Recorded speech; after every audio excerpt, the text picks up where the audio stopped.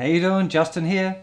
Hopefully you've done a little bit of practice and you've got your D chord sounding really cool. So, because I don't know any songs at all that have just got one chord all the way through, I guess we need to learn another one. And this next one we're going to check out is the chord A. Now, there's quite a few different ways of fingering this chord. And the one that I'm going to show you, that the one that I think is the best now, isn't the one that I learnt. So sometimes you'll see me playing A chord another way. But the way that I'm going to show you works really, really, really good for swapping between your D chord and your E chord, which is one of the biggest problems that you have when you're a beginner is changing between the chords. It's not actually playing the chords, but we haven't got to that yet. You've still got to discover that horrible bit of uh, learning the guitar, the, oh my God, I can't move my fingers fast enough stage, but we'll get there very soon. Um, so what I'm going to do is I'm going to show you the, the, my recommended way of playing an A chord.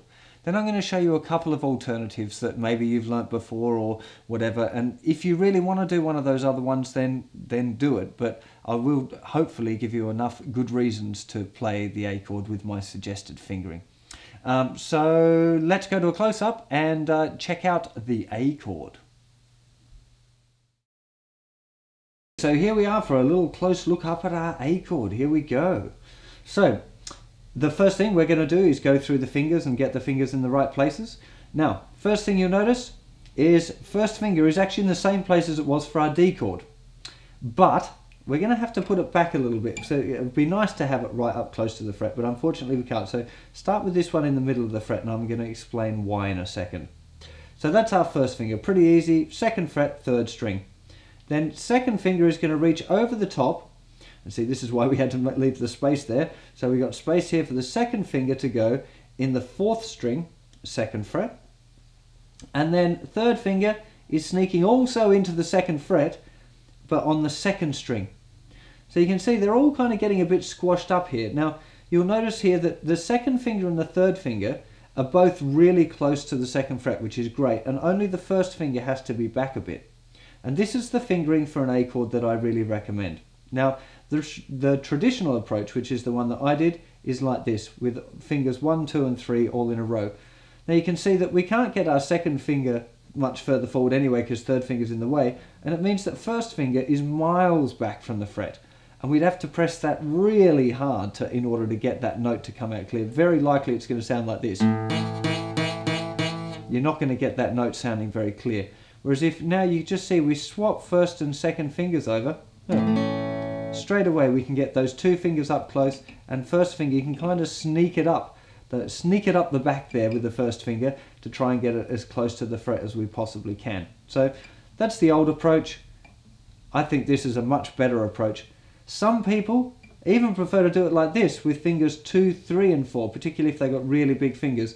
Some people find that a little bit easier. Now I'm not a big fan of this method. It's possible because so, so long as you press down the dots you're okay. But I really, really recommend that you do this fingers one on the third string, then reaching over with the second finger, and then the third finger.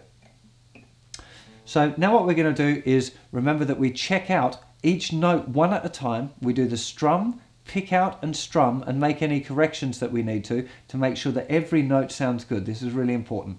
Also, by looking at the neck diagram there, you can also notice that we shouldn't play now the thicker string because it's got a little X at the top. So we're not going to play the thicker string. So we're just going to start our strum from the fifth string, strum down. And now as we go to a close-up, we're going to check out the possible things that might make the notes sound funny as we do one note at a time. So.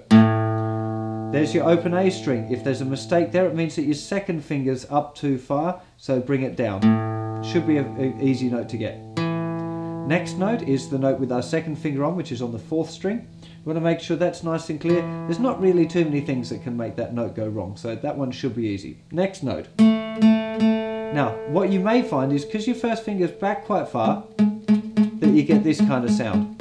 Now, that's only because the finger is so far away from the fret the only way that you're going to fix it is to try and bring it closer to the fret if you can and also to press harder. Even if you're right back, if you press really hard you will get that note clear. So try and sneak it up as best you can and then press a bit harder with that first finger if that note's causing you problems. Third finger shouldn't be giving you any grief, just make sure it's nicely seated. Make sure it's not on the fret because as soon as you get on the fret, it gets a bit dead. Behind the fret, nice and clear. If it's on the fret, it kind of goes a bit dead. So make sure it sits behind the fret.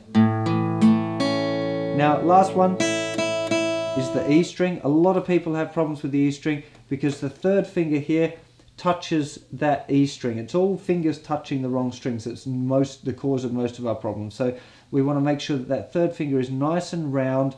See, you can see that all of the fingers are kind of arched around. Don't let your fingers do this like they're too flat. That's always going to lead to problems. Nice and round. And that should lead you to have a nice A chord.